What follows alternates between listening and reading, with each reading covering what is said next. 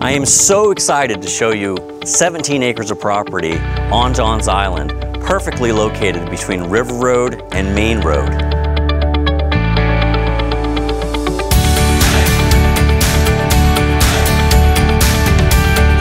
Whether you're looking for the perfect hunting ground, camping ground, or family retreat, this property has it all.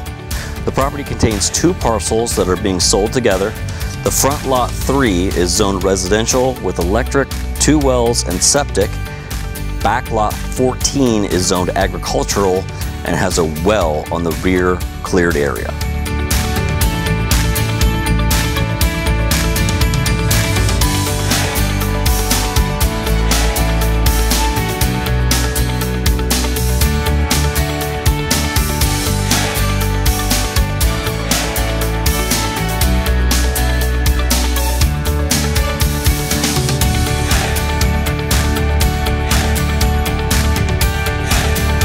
I find that the majority of people who move to Johns Island do so for the raw beauty and quiet that surrounds the area.